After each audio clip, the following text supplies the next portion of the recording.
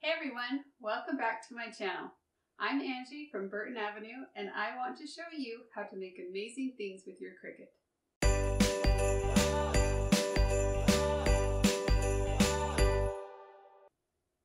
Welcome to day 19 of my 25 Days of Craftmas series, where I show you how to make 25 different Christmas projects using your Cricut. And I also share the SVG files I use to make the projects for free so you can make them too. Today, I'm showing you how to make this Christmas centerpiece box. Didn't it turn out pretty?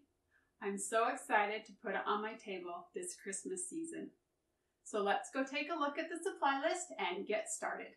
For this project, you'll need wood for your box, wood glue, a nail gun or hammer and nails, vinyl for your stencil, a scorch marker, a high heat gun, stain, Christmas embellishments, a weeding tool and scraper, transfer tape, your Cricut machine, a cutting mat, and the cut file. So grab your supplies and head over to your computer. The first thing we need to do is grab the SVG file we'll be using for this project. You can get it for free on my blog at burtonavenue.com. I keep all the SVG files for the projects I make and share in this free SVG library. These files will work with all kinds of cutting machines and they're free to everyone. Once you're on my site, just go ahead and click on Free SVG Files and then Free SVG Library. You will need a password to get into the library and there are instructions on the screen if you need to get one. Once you're in the library, you can search for the file Merry. It will either be listed under the most recent projects and cut files or under the category Craftmas 2020 Day 19. You can also use your browser search to find it. Once you've found the file, go ahead and click on it and it will be downloaded onto your computer. Now when you download these files online, they usually come in a zipped folder and you'll need to extract them before you can use them in Cricut Design Space. To do this, you'll want to go to the location where your downloaded files are saved on your computer. Then you need to find that folder that we just downloaded and double click on it. A new window will open and somewhere you should see the option to extract all. Click on that and another window will open. And this will show you the destination where the unzipped files will be saved onto your computer. You need to remember this location because you'll have to get to it once you're in Cricut Design Space.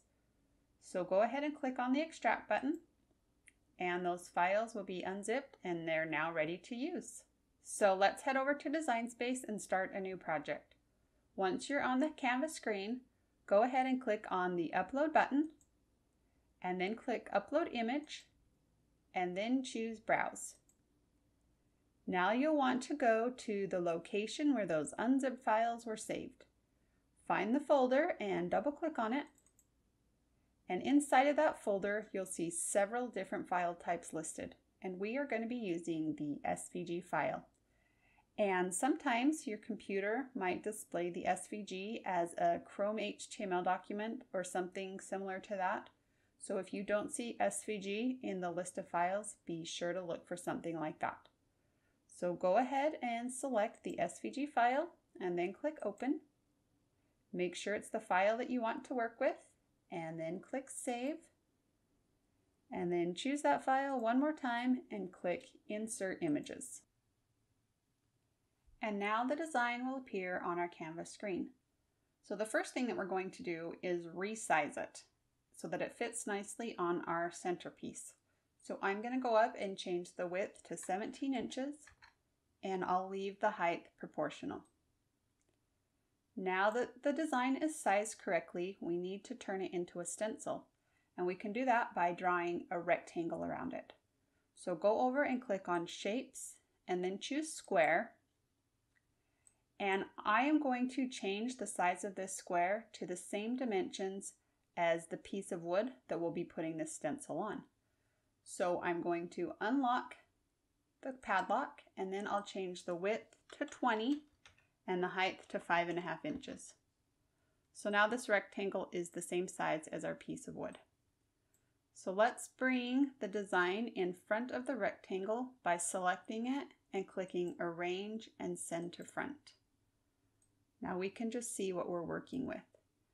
Okay, now we are going to position these letters on the rectangle the way that we want them to appear on our box.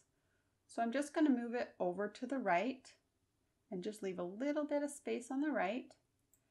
And then I'm going to select both the rectangle and the design and go up to align and click on center vertically. And that will just center the design from top to bottom. Okay, the last thing that we need to do is right click and choose attach. And that will just lock our design into place on the rectangle.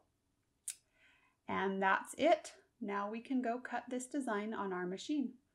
So go click on the green Make It button. And since this is a large design, Cricut Design Space is just letting us know that we need to use a larger cutting mat.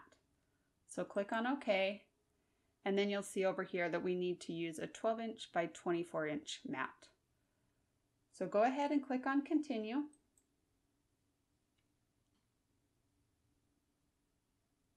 And once Design Space finds your Cricut, you'll be taken to this screen. Be sure that your dial is set to vinyl and then you can go load your mat. So place a piece of large vinyl on your cutting mat and smooth it out so there aren't any wrinkles or bubbles. Then load it into your Cricut by pressing the up and down arrow button. When your machine is ready to cut, the C button will light up. Press that and the machine will begin cutting. Once everything is cut, you can press the up and down arrow button again to remove the mat. Remove your piece of vinyl from the cutting mat and cut off any unused area of the vinyl. Then weed away the excess vinyl. You can use a weeding tool to help you pull out the letters from inside of the rectangle. Once everything is weeded, we need to apply some transfer tape. So cut a piece that's a little bit bigger than your design and place it sticky side up on your work surface. Then place the vinyl lettering on top of that and smooth it down. Then trim off the excess transfer tape and vinyl backing and rub over the design with your scraper. Now flip the design over and carefully pull off the vinyl backing. Position the design on the piece of wood that you'll be stenciling. Match the straight edges of the stencil with the straight edges of the wood. And then rub over the design again with your scraper. Now you can pull off the transfer tape. The next thing we're going to do is trace over the design with a scorch marker. The fluid inside the marker is tinted just a little bit, so you should be able to see where you have traced.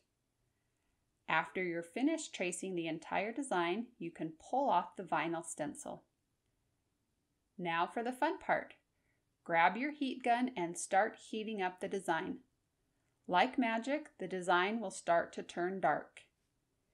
But try not to hold the heat gun in one place for too long or it can burn the wood around the stencil design. You can go back and heat up any areas that need to be darker.